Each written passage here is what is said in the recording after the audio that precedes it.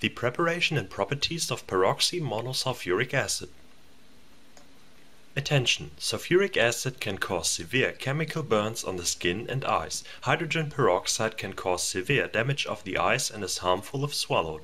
I don't take any responsibility for damage done to persons or property caused by the recreation of this experiment. For the preparation, concentrated sulfuric acid and 30% hydrogen peroxide are mixed at a ratio of 1 to 1 or 1 to 2. It is important that the peroxide is added to the acid while stirring. In this case 20 ml of sulfuric acid and 20 ml of hydrogen peroxide were mixed.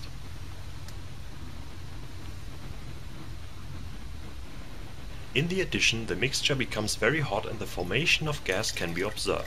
Here the sulfuric acid reacts with the peroxide to form the peroxomonosulfuric acid and water. In these conditions the acid is unstable which is why oxygen is released.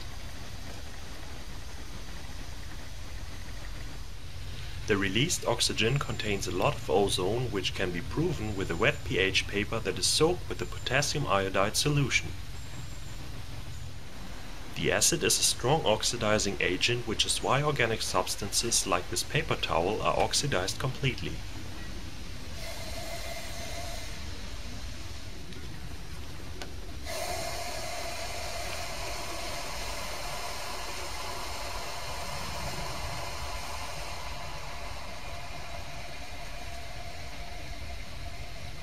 In the lab this is also called piranha solution due to this reaction. Practically, the acid is only used to clean clogged sintered glass crucibles. In this case it has to be taken care of that these don't contain residues of organic solvents and especially acetone because otherwise an explosion might occur. Here I have a beaker that has a layer of carbon on the bottom that couldn't be removed with strong scrubbing. These stains take a bit longer to be removed.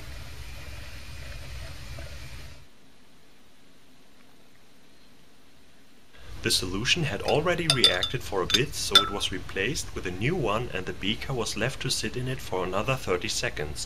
After that the beaker was washed and dried.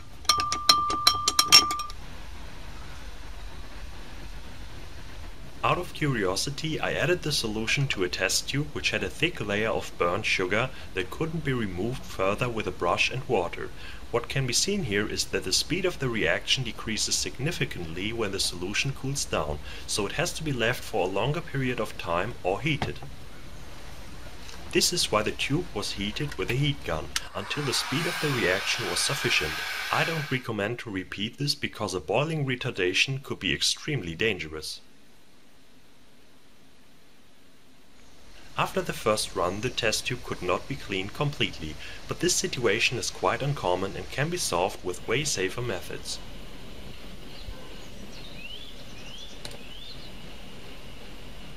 When the solution is used up, the charred residue is not oxidized anymore and left in the solution.